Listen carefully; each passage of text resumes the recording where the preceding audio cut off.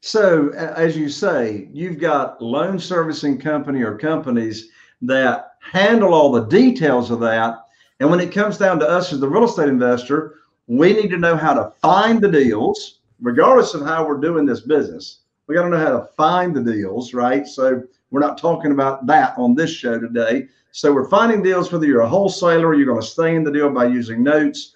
And then you got to know how to find the buyers, right? So your piece here in the middle is how you can make the money flow to make all that work, right?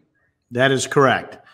And we started talking briefly about the buyers, and I do want to touch on that. I gave you the little Zillow, you know, uh, little Zillow test to go out and do. The other test that you can do is go take and put uh, take and put something on Facebook Marketplace and put seller financing available on a property, and tell me how many calls you get. Just don't put my number in there because I don't have the infrastructure to take them all, but you will be absolutely shocked at how many people um, will call you reaching out that need that need help you know buying. And this is a great thing and this is what i love about this model jay is that we can help people obtain home ownership that have been told no.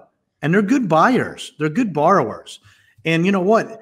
If you i can't go down to the bank and get a traditional loan. I own multiple companies okay? They don't they don't banks don't like that. I'm not a w2 employee.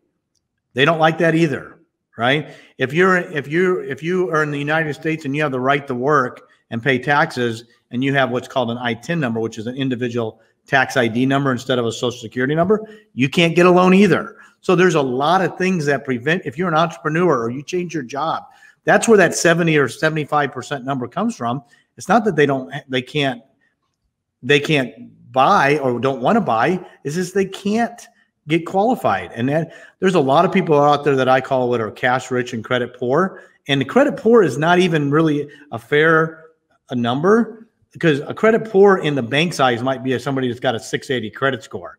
And in my world, the 680 credit score is, is not a poor credit score.